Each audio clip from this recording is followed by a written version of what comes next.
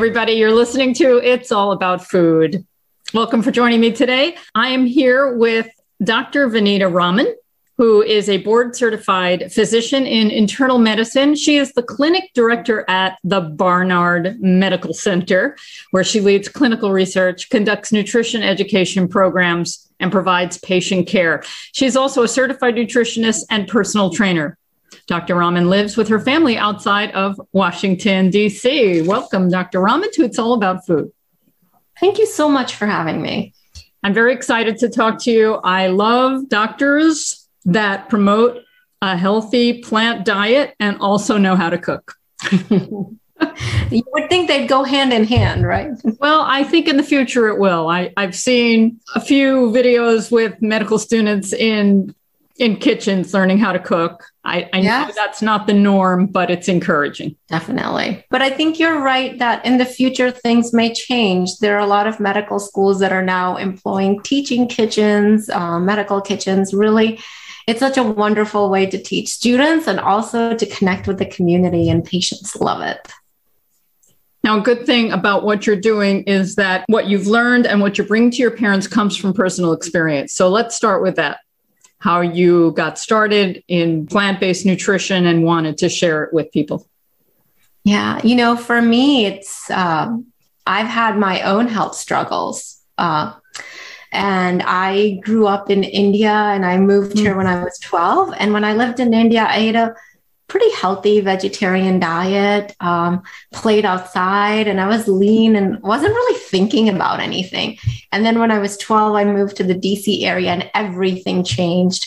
I wasn't playing outside anymore. I was playing video games and my diet changed. I was eating mm. cheese, something I didn't even like at first. You know, the first time I bit into cheese, I didn't like it.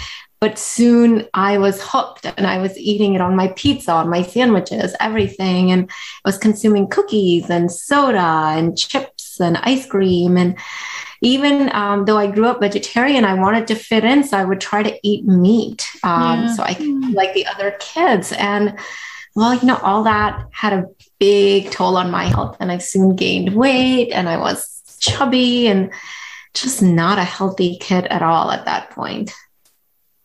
Your parents, were they encouraging you to be American and be like Americans and eat the way Americans eat? Yeah, you know, I think in their own way they were, um, and and the reason was when we were in India, we had very modest means, so things like soda and cookies and ice cream were really cost prohibitive. So, uh, and then once we got here, these things were so cheap, uh, relatively speaking, mm-hmm. compared to what they were like in India, and you know, they were common, whereas over there they were a special treat, and and so my parents felt happy that they could give me those things that they couldn't afford to give me before. But of course, they didn't know that they were not healthy to begin with. And it was really having a very negative impact on my health. I liked when you said that you were eating more cheese in the United States and that you got hooked.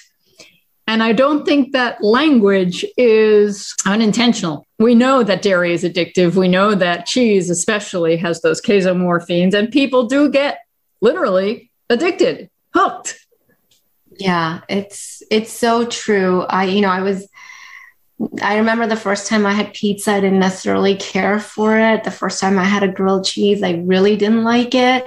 Uh, but soon I, like everyone else, I liked that zing I got, the salt, the fat, the casomorphins. Of course, I was 12. I didn't know that's what was going sure. on. I started to feel good and I went with it. Um, You're not the first person I've heard who said they didn't like eating pizza the first time they tried it because mozzarella cheese, any cheese, is stinky and smelly. it requires that, a special palate. It's def, you know, it is definitely an acquired taste. Like I, I could never get into the blue cheeses. To me, that just never appealed. But I, I remember even string cheese. I didn't like the texture. and like ripping it. But, you know, after a while, it just felt like if everyone's doing it and everyone says it's good for me, it must be good for me. So let me try to nudge myself along. And I soon yeah. acquired a taste. The sad thing, something I say a lot, is that humans can be taught to like to eat anything. Yeah. literally. And it's been done. And a lot of it isn't good for us. So there yeah. we are. That's, you know, that's so true. We often think that we have to acquire a taste for healthy food, but yeah, we do have to acquire a taste for some of these unhealthy foods too. Mm-hmm. Not what we naturally like. E- even right. for me, meat. I I remember thinking I should eat hot dogs because other teenagers were eating them, and I really didn't like anything about it. And I would make myself like it, thinking, you know, I'm going to be mm-hmm. a cool teenager eating like everyone else. And now I can't imagine feeling that way, but that was my mindset back then. All right, so I want to get into your training a little bit and your experience. You and you practiced internal medicine with Kaiser Permanente, mm-hmm. and I remember maybe it was a decade ago that this article came out where Kaiser Permanente was actually going to encourage plant-based diets among their physicians. Did that happen, and did that impact you? Where were you at the time? Yeah, so I was working in the Washington, D.C. area at, at Kaiser Permanente, and I, um, I learned about a program that um, that Craig McDougall had done with Kaiser Permanente in the Washington area. I think it was Portland Oregon, mm. and it was a plant-based program to encourage people, and I really liked the sound of that. So I um, took the initiative and spoke to my team, and they were very supportive. And we launched the program. And uh, you know what was really amazing was how much interest there was amongst the patients. Mm. They hmm. really wanted it. We called it our plant-based weight loss program, and people really struggle with losing weight and they were open to trying it. They mm. it made sense to them and we had hundreds of people come in come through the program. And and my favorite part was when someone who had never even had tofu before and was like oh what is tofu? Then a few weeks later they would be raving about their favorite tofu recipe. So it was just really amazing to see the transformation in people and it happens over and over again everywhere we've all somehow been brought to this space manipulated to consume things that aren't good for us. They're not good for animals. They're not good for the planet. And then some of us, the lucky ones, get on a path to, or get on a path that kind of maybe brings us back to where mm-hmm. we're supposed to be eating healthy, whole food, plant, plant strong, plant based plant foods. I want to know more about the Barnard Medical Center. I know Dr. neil Barnard. I've talked to many people at PCRM. I've been a vegan for like, it seems like centuries, 33 years. And I've been following all of their wonderful work. And I remember when the Barnard Medical Center started. And I just wonder, what is it like there? What's different about it than other places if I'm a patient? Yeah. Well, the first difference you'll notice when you walk in is in the exam uh, is in the waiting room. There is a big bowl of fruit there. Um, so we'll have apples and oranges and bananas, and um, and there are all sorts of uh, helpful pamphlets about the importance of healthful eating, and then um, and really everyone is on board with plant-based eating. So everyone is working together mm-hmm. to help our patients. And i think just that fruit bowl sets the tone. So people know you know people get hungry they're waiting for their provider or they fasted for their labs. And it's nice mm. that they have a healthy snack to reach out for. Uh, so it's it's really a unique place uh, where we really emphasize nutrition. And do most people coming know what you're about yeah, I would say it's a mix. So some people come to us specifically because they know who we are, they are familiar with our work, and they want to see us. Um, and especially when the pandemic started, mm. we really expanded telehealth. So, for example, mm. I'm licensed in 11 states now. So I see people in California, Florida, wow. Texas, uh, everywhere. And, and it was a really a great way to connect with people. And they were so appreciative that they could find a plant based provider to support them because it's been hard for them to find someone. Um, but then some of our patients come because they really don't know what we do. Um, they found us through their insurance company or mm-hmm. they liked our profile and they give us a try and then they're pleasantly surprised to learn that you know they get so much more out of the visit than just a traditional um, office visit So I'm just imagining what a prescription might look like where you're saying eat so many servings of fresh fruit and take two green juices a day and come back in two weeks. Do you ever do anything like that? We actually have a really cute prescription pad where we can write something like that, you know, this many today. I love that. It's just such a fun thing to do and and people really do appreciate it because they most people really don't want to take medication. They want to know how they can be healthy just by changing their lifestyle. So they they like that we're in tune with that, you know, that that we are ready to support them through that journey. Well, I'm excited to hear that you've done a lot of telehealth and that the Barnard Medical Center is available that way. If ever I have a problem, I may look you up. Yeah, we I think we're seeing patients now in 17 states. A lot of us who are eating a healthy whole food plant diet when things happen to us where we need a medical doctor, we want to have somebody who's at least where we are when it comes to nutrition. And you don't want to have to explain yourself, and you want somebody who's supportive. So it's good to know you're out there for so many people. Yeah, we are. And with telehealth, I think it's been really with this pandemic, if there's been any kind of a silver lining, it's been that we've really been able to harness technology to do a lot of outreach to patients in the community in a way that we weren't even thinking of before.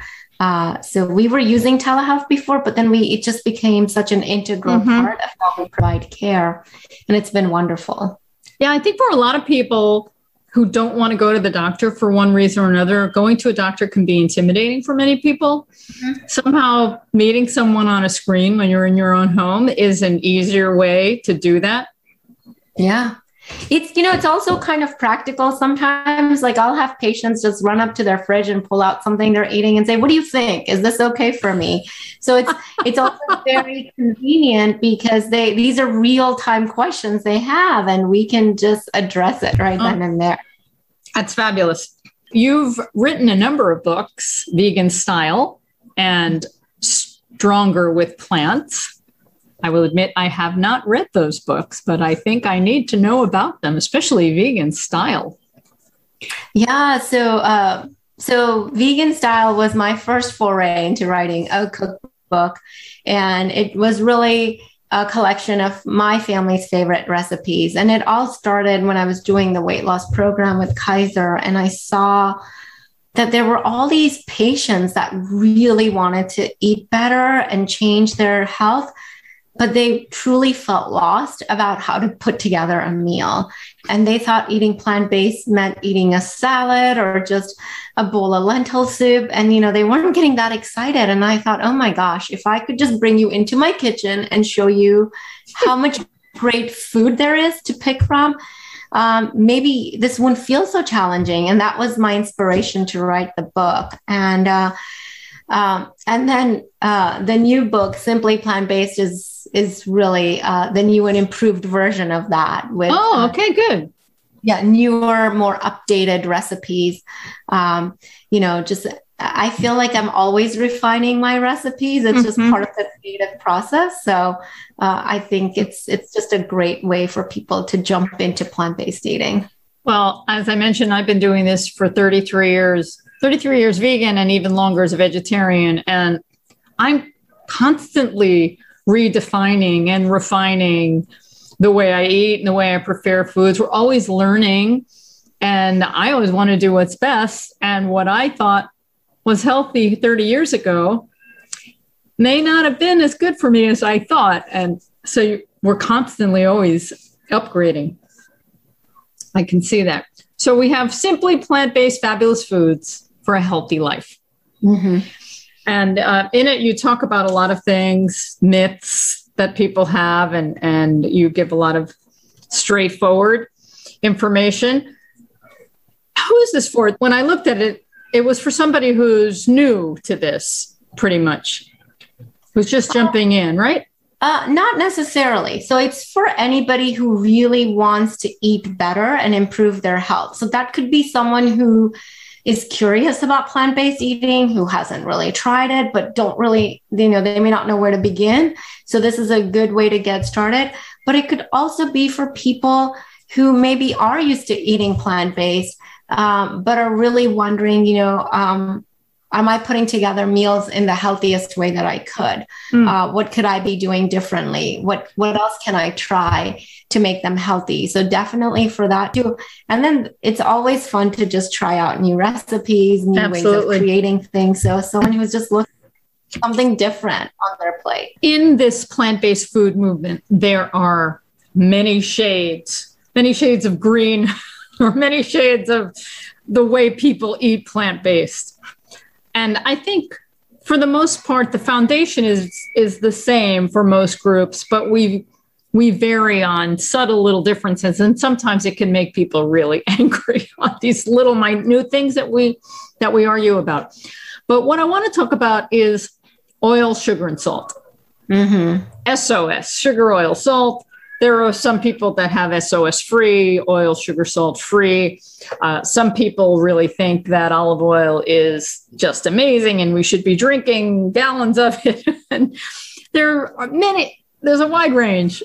And in your book, when I look through the recipes, it looks like you do use a small amount of oil, maybe a little bit of salt, maybe a little bit of sweetener. What are your feelings about sugar, oil, and salt? Yeah, so let's first let's define what these things are.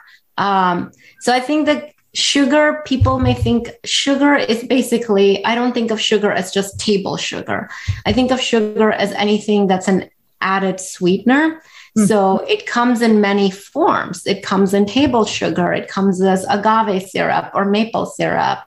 Or date sugar, or palm sugar, uh, molasses. Uh, you know, the, the list goes on and on what they all have in common is they're just nothing but a sweetener. They don't necessarily have a nutritional value. One is not necessarily better than the other. They're just there for one reason and one reason only to sweeten our food. So, do we need them? Absolutely not. We do not need them. Uh, but we like them you know um, some people like a little bit of sweetener in their tea or coffee or they like um, their baked goods to be a little bit sweet. So I think the key there is to really minimize it, you know? So if often what shocks me is lately how sweet baked goods are, how much added sugar they have. So I was I love to travel and I was sitting in Hong Kong once and I was enjoying this little cookie and I what struck me was it was almost not even sweet. Mm-hmm. And I thought, is this even a sweet cookie or is it savory? and and it occurred to me how sweet our desserts have become in the US. So we can really dial down how much we're adding. And that's what I do in the book is you know, we really need to reduce it. So you do not need these added sweeteners, but they do enhance the flavor and what I would hate is for someone to not use them to be super strict and then just hate eating healthily and then just quit altogether. Mm-hmm. Because that's really not what we want. Eating is on a spectrum, standard American diet to this whole food, healthy, plant based diet.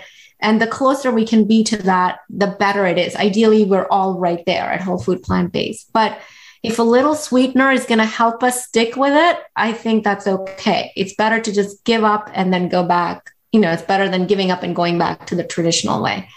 Um, now let's talk about salt. I think that's another one that causes a lot of confusion. When most people think of salt, they think of table salt, but then there's also rock salt and sea salt, and they're all salt. One is not better than another. There's coconut aminos or soy sauce. Uh, again, these are all basically some form or another of a salt flavor that we're adding to our food. Do we need it? No, absolutely not. We don't need it, but it does flavor our food. And again, just like with added sweeteners, we really want to minimize it. Um, the other confusion I think that comes in with salt is confusing salt with sodium.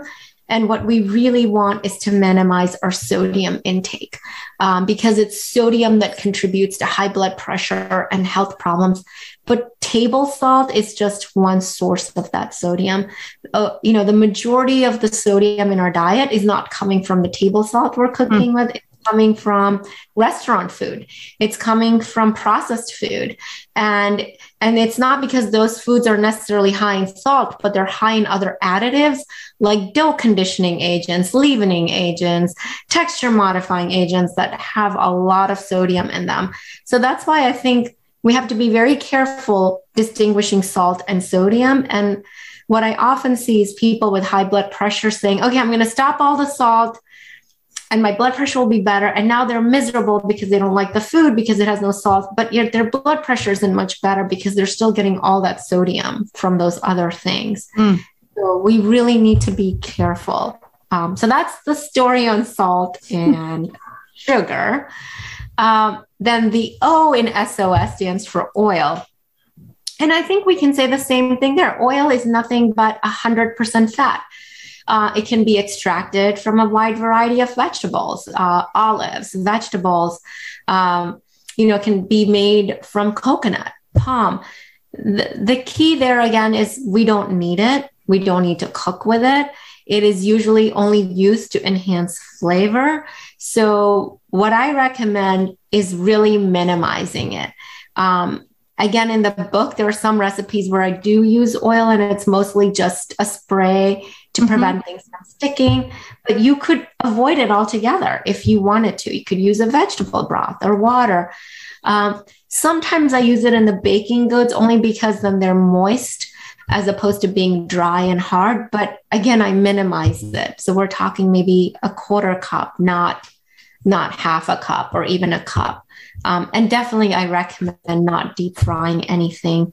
Um, so I think again, there's a spectrum. Standard American diet is very high in oil.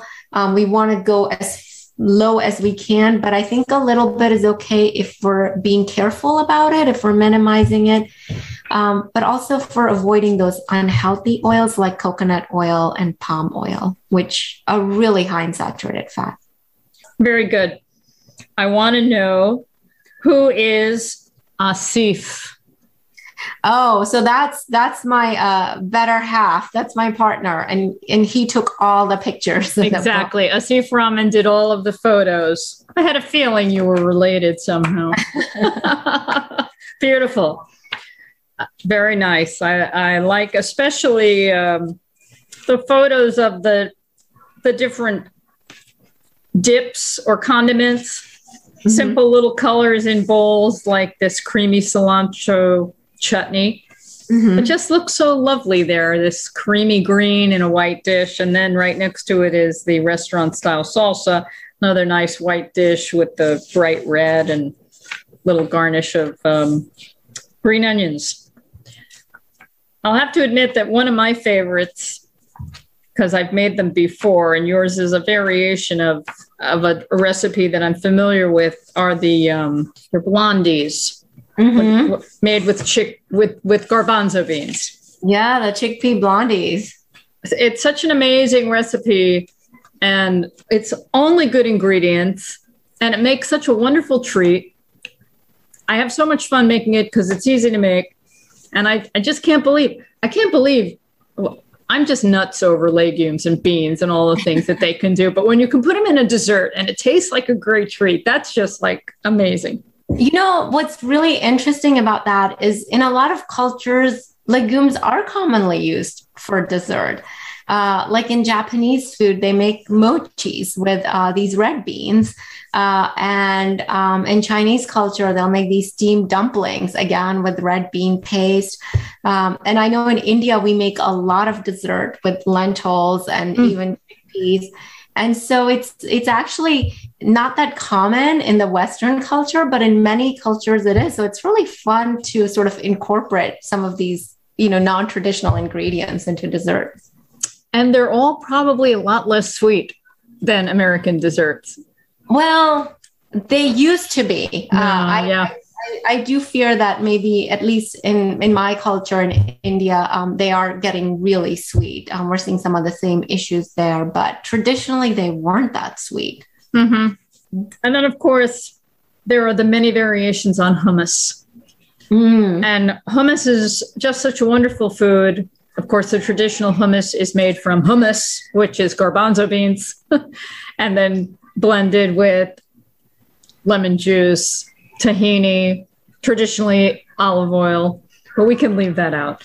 And yeah. uh, maybe a little salt if you feel like you need it. But you've got different variations here where you blend them with peas, you blend them with edamame, garlic, all good. Yeah. And the pea combination probably cuts back on, oh, um, no, you have peas with avocado with guacamole. Yeah. That's what yeah. I'm thinking of. And that probably cuts back a little on the fat in the avocado, but still gives you that creamy greenness. Yes, absolutely. You know, avocado is one of those things that's super high in fat. It's about 70 to 80% fat. So if we mix it with peas, we can make this delicious dip and it's just great over toast. Um, kids will just sort of gobble it up. And it's also a lot more filling because the peas are bringing a fair amount of protein, um, fiber into it. So just wonderful dish. Okay, very good. Well, I've enjoyed talking with you, Dr. Rahman, and looking at your book. There are definitely some things in here I'm going to try. I'm so glad you're out there doing what you're doing because we need all doctors should know about food, should know about nutrition, should know how to prepare food and help their patients move along to a healthy place using preventative medicine first. Yes. So thank you I mean, for that.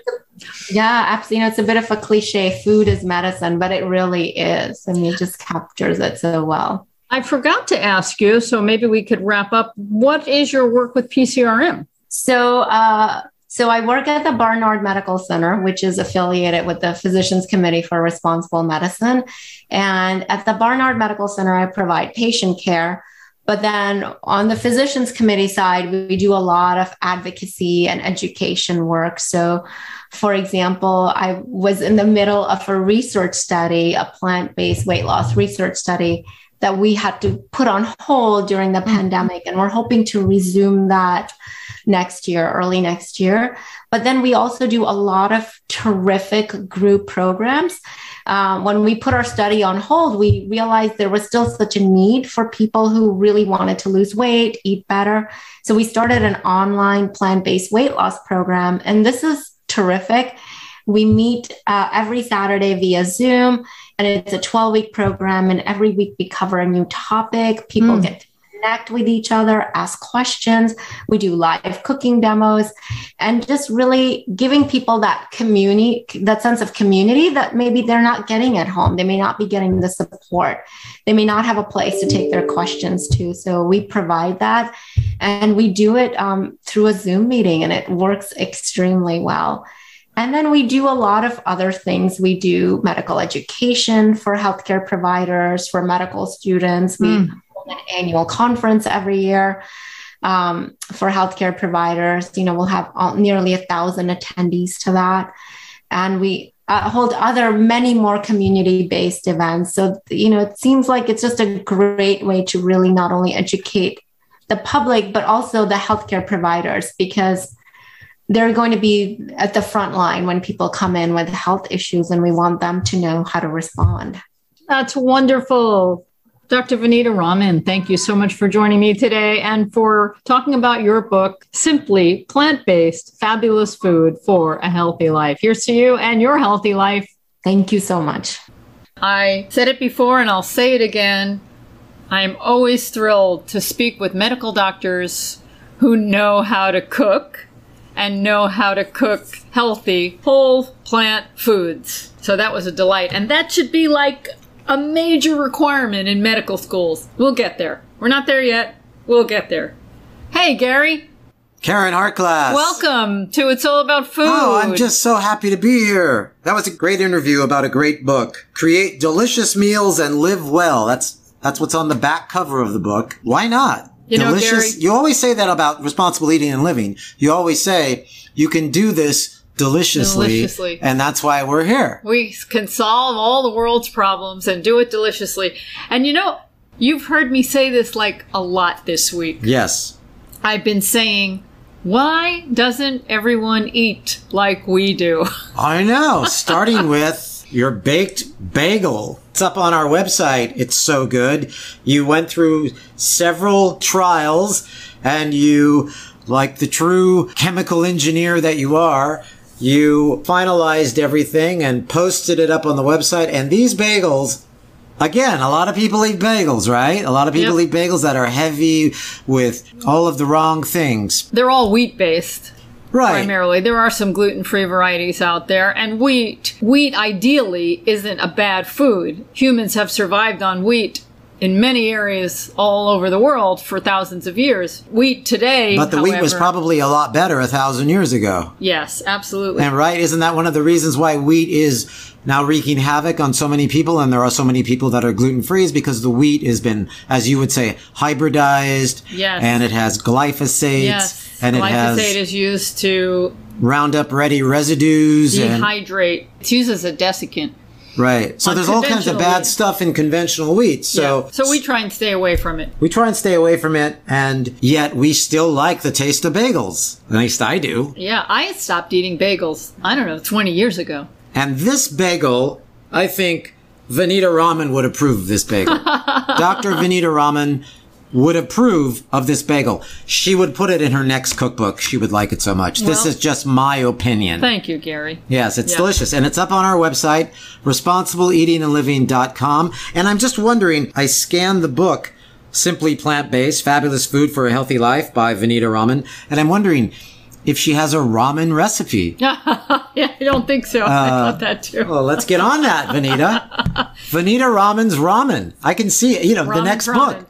Yeah, the The ne- ramen is spelled differently as the name. Of course, but it's, it's a play on it words. needs to be done. That was in honor of your father, the late great Harold Hartglass. But I digress. Continue on. Okay, so we're always talking about healthy, delicious food that's good for humans, gentle on the planet, kind to animals. Here, here. And speaking of animals, Yes. let's talk about the ones that are in many people's homes. We can call them pets. Some people are elevating the word and calling these animals companion Right, animals, right. which I like a lot, companion animals. And there's a new term that's been around for a while called the emotional support animal.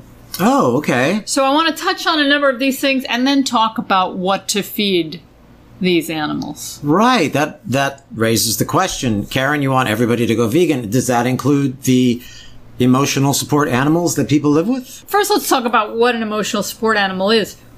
We live in New York City. When I moved into this co op apartment, one of the things that appealed to me was it was a no pet building. Right. I have nothing against dogs and cats and turtles and birds and whatever animals. I know you don't. You love all animals. To live with, I think that non-human animals belong in their own wild habitat. Sure, in a perfect world, that's where they would still be, but we now we don't live in a perfect. we now world. have a lot of animals that need us to care for them because we've domesticated them, and then a lot of them have ended up on the street and they have no place to go, and we need to take care of them. But this building, is a no pet building. There have been some people that have been taking advantage of the law that supports having an emotional support animal. So let's just talk about the emotional support animal, ESA. And if you have one, I hope that it's doing what you intend it to do, which is provide relief to people who have a variety of different mental challenges. It could be a psychiatric disability, could be anxiety, and so many people have anxiety today. And the research is really, really compelling. The research shows that people with an emotional support animal, in one study in particular, 99.29% of the people that had an emotional support animal had heightened feelings of confidence and were compelled to participate in more physical activity. wow. There's tons of these studies. So a relationship with a non-human animal can be very beneficial.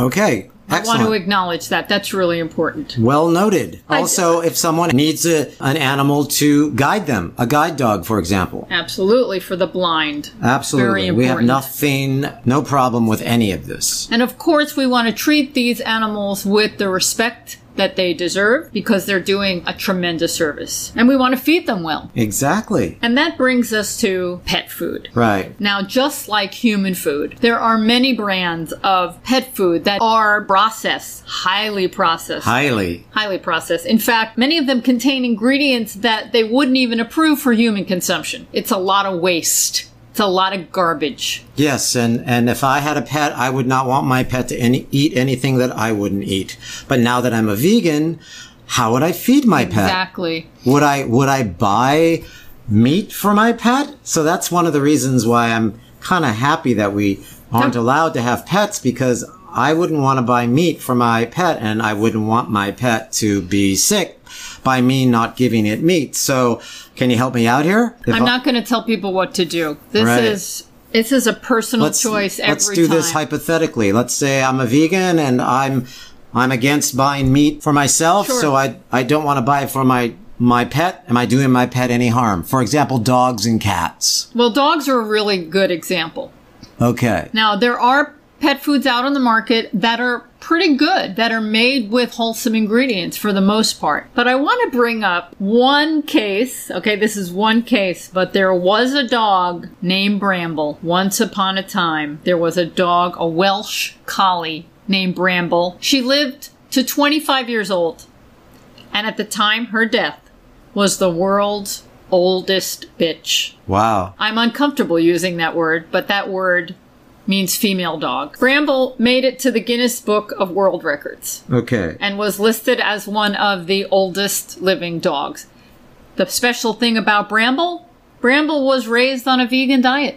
What? There is evidence, at least with Bramble, that dogs can live a very long, healthy life. Of course, you have to be careful, just like with humans, we need to be careful with what we eat. We don't want to be living on Coca Cola and French fries. And Right. dogs need nutritious food too. And dogs' needs for nutrition are different than humans. And you need to be aware of that It's possible that a dog could live a happy, healthy dog life as a vegan. as a vegan. and I know many people who have vegan dogs. oh, okay, great. So then we come to cats. Now, cats, that's a different story, Cats right? are cats are complicated because cats are what are considered obligate carnivores. Obligate. Obligate carnivore, Something to do with obligatory carnivore. yeah, it's it's assumed Assumed. it's assumed that they have to consume flesh. They have to consume meat. It's assumed that they have to consume. And I want to bring this up because there are very few articles.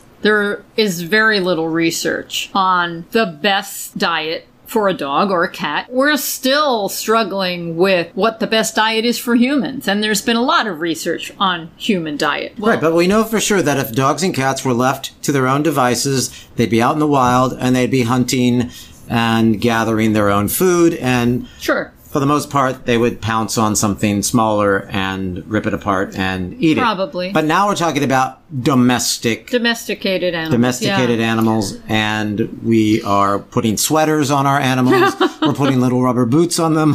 I love when you walk in the city and you see people walking their dogs in the rain, and they have little raincoats and little little boots and things. So we're basically, you know, domesticating our dogs and cats. So there have been a few articles in the medical literature, in the veterinary medical literature. There's one journal of the American Veterinary Medical Association. They had an article in 2015 and they assessed the protein and amino acid concentrations and labeling adequacy of commercial vegetarian diets formulated for dogs and cats. Well, And they were comparing what was in these different products based on their understanding of what these animals need right. and I'm I've got quotes on everything because I don't think we know the ultimate. Now, the conclusion was that most diets assessed in this study were not compliant with what they call the Association of American Feed Control Officials. Whoa. They have an acronym, AAFCO, Association I of American love Feed Control acronyms. Officials. And according to them, the diets were not compliant with what this group labels and regulates. And there were concerns regarding the adequacy of the amino acid content. Where do they get their protein? Exactly. So Even dogs. Excuse me, you're going to feed me this vegan diet, but where am I going to get my protein? I'm not going to argue about this. I'm sure that many of the products that are out on the market are not ideal. Right. And they may be lacking. But if And- you- but they're saying they're saying the vegetarian ones were lacking. Okay, and this is what's key because there are these different amino acid requirements, four of them: leucine, methionine, methionine, cysteine, and taurine that were specifically below their requirements and definitely necessary. But then this is why I'm bringing this up. But then there's bramble. Right. Well, we're really concerned about the cats because the cats have a greater amino acid requirement that is believed you can only get from animal foods. Although there are synthetic versions of these amino acids. So there are some people feeding cats vegan diets and supplementing what they believe is lacking. But this is what I wanted to bring up. There was a study that came out earlier this year, 2021. And I'm not saying it was an ideal study. There are lots of things people could say is wrong with it. But I'll tell you what they did. They did a questionnaire and they got 1,325 questionnaires that were complete enough to be included in the study. That's a lot. Now it's a questionnaire, so you have to trust every applicant who filled out those questionnaires. And the cats filled out these questionnaires? Sorry. 1,300 cats filled out this questionnaire. And according to this study, most cats, 65% represented, were fed a meat based diet. And 18.2% were fed a plant based diet. And it was interesting because they didn't really see a difference in lifespan. Cat age ranged from 4 months to 23 years, a median, median of 7 years, and was not associated with diet type. There were no differences in reported lifespan detected between diet types. Fewer cats fed plant-based diets reported to have gastrointestinal and hepatic disorders, which are some of the concerns that some veterinarians have with cats going on vegan diets, having some sort of gastrointestinal disorder. Cats fed plant-based diets were reported to have more ideal body condition scores than cats fed a meat-based diet. More owners of cats fed plant-based diets reported their cat to be in very good health, very good health. And the conclusion they had is that cat owner perception of health and wellness of cats does not appear to be adversely affected by being fed a plant-based diet. Contrary to expectations, owners perceive no body system or disorder to be at particular risk when feeding a plant-based diet to cats. This study collected information from cat owners and is subject to bias as well as methodological limitations. Further research is warranted to determine if these results are replicable in a prospective investigation. Well, how about that? I'm not saying that this study is the be all end all. It just sparks enough curiosity that I think, as they say, further study is warranted. Well, we want to take care of our pets. This is something to consider because a lot of that food, as you said, a lot of that pet food is not good for them. Right. So let's talk about the pet food that's out on the market. A lot of it has animal products in it, obviously. Right. And we know where they come from. They're products that come from animal agriculture. Some people call it factory farms, confined animal feedlot operations, all those places where they raise animals in filthy conditions. And then what doesn't go to humans for consumption goes everywhere else. They use, I've heard the expression when it comes to a pig, they use everything but the squeal. Oh, that's terrible, right? Right. And some of it goes into pet foods. And there's been a lot of cancer In dogs. in dogs, in pets. And some of it has to do with what we're feeding them. It's just, just like with humans. We Right. feed ourselves food that isn't good for us and we get disease. Same thing. They're not immune. So a lot of people are concerned about this and they're researching and many people feed their dogs whole minimally processed plant foods, just like they eat. and they do a lot of cooking for their dog. I know a lot of people who feed their dogs broccoli. I remember you had Eunice Wong on this program and on her Facebook page. I'm not sure if Eunice is if Eunice's dog is vegan, but I see her feeding her dog broccoli all the time and she says she loves her dog loves broccoli. Hmm. Now So- cats are a little more difficult. Yeah. And I think it's really hard to change a cat's diet once they're used to eating certain foods. You might have better luck starting with a kitten, but, But we should we be experimenting with our cats and our dogs? And that's the question, I guess. Do people want to, you know, switch diets on a dog or a cat if they don't know a lot? no, So- I'm not making any recommendations. I'm just reporting some things that I've read and I have this dreamlike wish for this ideal society where not only do humans live in peace, but the lion will lie down with the lamb. Right. and all animals will not need to kill each other. I know. These are the things that I think about. Right. well, that's interesting. I've read that certain animals have evolved to eat a certain kind of diet. Right. So I don't think anything will happen overnight, but we can evolve to another place. And and I hope it's a more peaceful place. That's all I'm saying. Yeah, you know, I walk a lot, and so do you. We walk through New York, we walk all over, and I've noticed more and more lately that people are feeding pigeons. Hmm. They are laying down lots of food in areas where there are pigeons living, like under an overpass. Uh, lots of pigeons like, and so today I was walking under an overpass and I saw someone dumped an entire crate of apples and the pigeons were, Oh. were happily pecking away at the apples. And I thought, well, this is good. Feeding them apples is a good thing. How do you feel about feeding the birds in New York City? Feed the birds, tuppence a bag.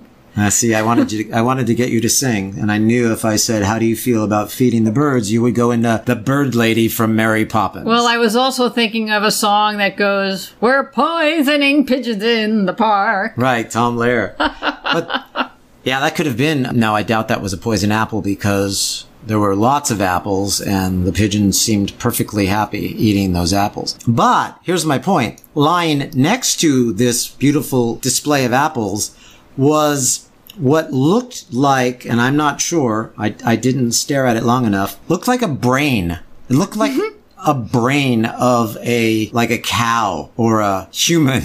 I mean, it was really, really scary. And no pigeons were going around this thing that looked like a brain. I don't know, early Halloween present for all of you out there, but someone is feeding pigeons, possibly, someone is possibly feeding pigeons body parts. Oh, no. Speaking of Halloween, you like that segue? Beautiful. That's coming up. Do you think people will be trick or treating this year, or do you think everyone's going to stay home again? Oh, that's a really good question because last year it was pretty quiet, right? Last year, I didn't see any trick or treaters. Yeah. If you are going trick or treating, what do you hope to get this Halloween? I know what I hope to get. I hope to get some Pascha chocolate. Oh, yeah, that's our favorite. That's the one we always buy. It's organic and it has like nothing in it. Nothing in it, not even chocolate. It has no allergens in it, But it's also or none of the most popular allergens. It's also fair trade. It also has all kinds of. It has this little, all of, like this entire row of little little emblems that make it all of these different things. And one of the emblems I didn't recognize. It was spelled UTZ, so it's even UTZ approved. And if you know what that means, I thought Utz was a brand of like uh, potato chips or something, but this chocolate is Utz approved. Everybody has put their stamp on this chocolate. And we need to talk about chocolate, especially with when we're talking about Halloween. Because there's a dark side of chocolate. Ah, dark chocolate. We did a video on chocolate a few years ago. It's still quite relevant. And unfortunately, most of the major brands today get their cocoa beans that have been harvested by children slaves Right. in the Ivory Coast. And we don't want to support that, do we? no, we don't. So our best choices are organic chocolate, organic fair trade, and you can always go over to the Food Empowerment Organization and check their chocolate lists and make sure your favorite brands are on their approved list. yes. And one of my reasons for bringing this up is we do not want to put our dogs in front of the candy dish because mm. chocolate is poisonous to dogs, mostly because of theobromine mm. content. So if we're going to be talking about dogs on this program and Halloween, we have to also bring up that chocolate is poisonous to dogs. Roo. Roo. I think you should go as a cat this Halloween, and I should go as a dog. we spent a lot of time making all kinds of animal noises here at Responsible Eating and Living headquarters. Because we love animals, and that's the reason, the main reason we're all vegan here at Responsible Eating and Living is because we love animals. And just because we say we love animals doesn't mean we want to live with them. No. We just want no. them to live their lives. But thank you to the people that do peace. take care of the animals and bring them into your homes and give them little rubber boots and little raincoats and little sweaters and feed them wonderfully clean diets. of non-processed foods, right? Right. It's really That's just about it. Gary, how was your Indigenous Peoples Day yesterday? There's a lot of talk about Indigenous Peoples Day. Well, I don't celebrate Columbus Day. I celebrate Indigenous Peoples Day. But I do celebrate my Italian heritage, which is also tied in with the month of October, Italian Heritage Month. So I made pasta. That's how I celebrated. I made a, a pesto pasta and celebrated Indigenous Peoples Day by eating a dish that my Italian ancestors taught me how to make. It was delicious, Gary, and you could make that anytime. So it was a spinach pesto. Mm-hmm. And we had some fresh spinach in the refrigerator, and I blended it with some garlic and some ground cashews. That was it. And a little bit of water. Water from the pasta that was boiling. Mm. And it made a creamy, amazing, creamy sauce. I didn't use basil. It was a spinach pesto. And the nut base or the oil that, you know, normally you drizzle tons of olive oil into your mm-hmm. pesto. Well, not tons, but you drizzle a lot of olive oil. I took a spice grinder and I ground some raw cashews. So I made it like, it looked like Parmesan. Then I added some nutritional yeast and these ground cashews and a little bit of the pasta water that was boiling. And it was great. Oh, you mean you didn't blend the sauce in a blender? No, I- because you've I- done that. I used before. the Cuisinart. Ah, interesting. So it had that like a parmesan consistency, the cashews. Well, I actually used two blenders. I used a small spice grinder to get the the cashews nice and powdery to match the nutritional yeast, which is also powdery. So then I mixed those two things together and made my own cashew parmesan. And I added that to the Cuisinart with the spinach leaves and the garlic. And I whirled, whirled it all together, processed it, and then streamed in a little hot pasta water, mm. some pepper, and I thought it was pretty good. I thought it was fabulous. Wow, It's really good. we don't have that all the time, and it's always a treat when we do. And it was very green.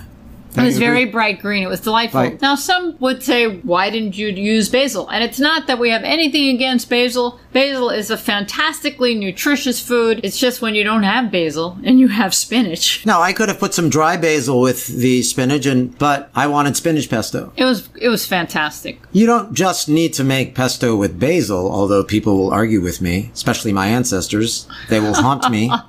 Speaking of Halloween, they'll come and haunt me now for not using basil. But a very California cuisine dish back in the days of California cuisine when it was first getting started was to make a spinach pesto. And they used a lot of a lot of restaurants use walnuts, didn't use the pine nuts as is tradition. And that was very, you know, California cuisine, darling. I mean, right. There's a lot of variations on pesto, as you're mentioning. Well, if you're trying to go oil free, use nuts.